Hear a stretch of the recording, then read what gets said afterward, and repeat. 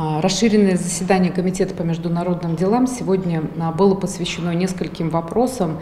И первым вопросом рассматривалась проблематика развития международного сотрудничества на уровне субъектов Российской Федерации и муниципальных образований.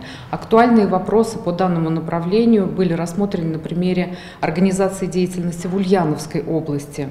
А, сегодня мы представляем собой а, субъект Российской Федерации, который активнейшим образом развивает сотрудничество более чем с 30 странами. Торгово-экономические отношения строятся более чем со 100 странами, включая и импорт, и экспорт. А, товарооборот а, региона неуклонно растет, а уровень привлеченных инвестиций и количество созданных рабочих мест, конечно, сегодня звучали очень убедительно для уважаемых сенаторов, поскольку, поскольку именно а, эти ключевые показатели и отражают, насколько правильным путем мы идем, развивая международные межрегиональные связи как на уровне субъекта Российской Федерации, так и на уровне муниципалитетов.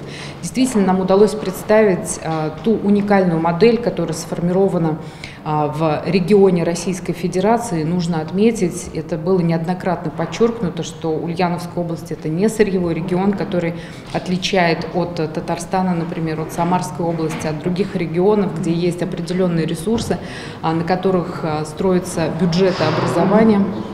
И, соответственно, на текущий момент мы не можем а, соответствующие свои сильные стороны показать, но при всем при этом мы отличаемся от других своей креативностью, своей мобильностью, своей активностью, и это помогает нам выстраивать открытые взаимоотношения со многими странами мира, привлекая в регион инновации, лучшие практики, лучшие технологии, а, вложение капитала в создание новых производств, а за последние 10 а, лет было привлечено и реализовано более 110 инвестиционных проектов, среди которых многие мировые бренды, такие как а, Bridgestone, DMG Morrisseiki, Takata и многие-многие-многие другие, Какое решение было озвучено по итогам заседания?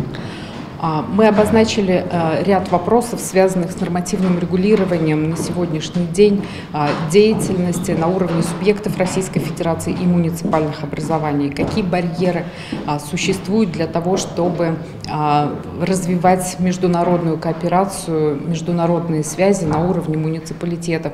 Этим вопросом сенаторы занимаются уже определенное время. Ульяновская область, в частности город Ульяновск, в лице руководителя городской думы разработали уже законопроект, который был представлен уважаемым сенатором. На сегодняшний день существует, конечно, несколько подходов, потому что мы знаем, сколько юристов, столько и мнений. Кто-то говорит, что необходимо корректировать законодательство, регулирующее основы местного самоуправления.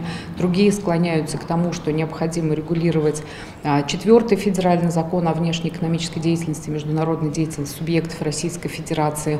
Но в целом и в общем все сошлись воедино, что а, текущая ситуация на внешнеполитическом пространстве сегодня похожа на подкову. И если ранее некоторые нормы не существовали, существовали пробелы, давая полное безграничное пространство и возможность для выстраивания на уровне муниципальных образований субъектов своей деятельности по развитию международного сотрудничества, то, наверное, именно сейчас пришло время прописать процедуры и установить э, регламентированный порядок того, как эта деятельность должна осуществляться, чтобы быть успешной на примере Ульяновской области.